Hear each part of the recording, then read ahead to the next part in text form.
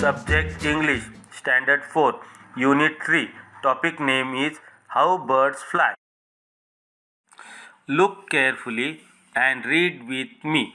लक्ष देऊन ऐका आणि माझ्यासोबत वाचा how do birds fly simple you will say birds fly using their wings. True, but having wings is not enough. There are many other things that helps birds to fly.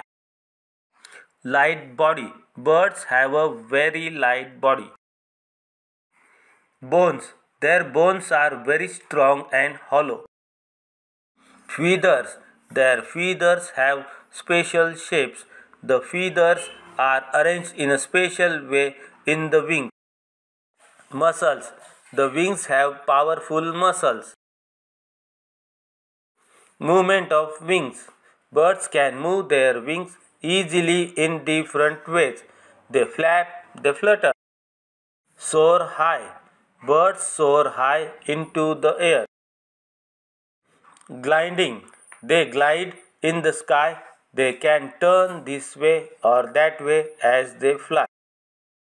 Landing. They can land easily and safely.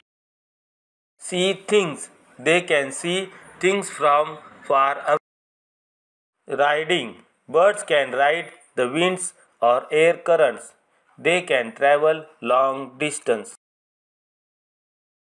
Can you think of other things that fly? Find out how they fly.